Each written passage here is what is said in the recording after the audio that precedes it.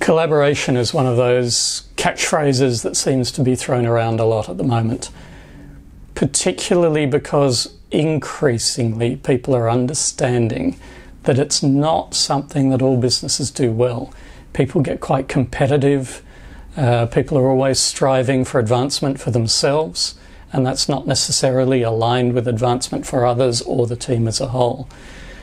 Collaboration is tough what I've discovered in my journey with radical collaboration is that there are skill sets and mindsets that can be taught, can be facilitated, and can be developed. But it's not easy. It's not the kind of thing that you go away for a, a happy afternoon with a bunch of people and then go out drinking and, oh, look, we're all collaborating together. It needs to really draw you down into what are your values, what are your fears, what are the things that are driving those behaviors that get in the way of collaboration? What are the dysfunctions? So, those are the things that you really need to get down to in the individuals and amongst a team in order to be able to build back up and put the collaboration skills on top of that. The starting point is for understanding the situation you're in in your organization.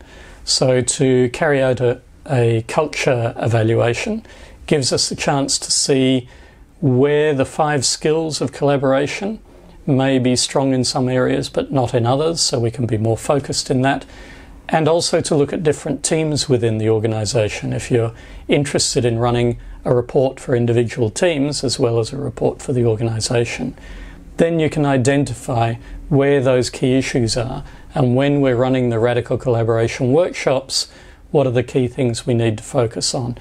Particularly then when you're following up and you can do another culture evaluation 12 months later, six months later, whatever we choose, so that you can see how these new ways of working, these new mindsets are being ingrained within the organisation, and perhaps the areas where we would continue to need to focus on.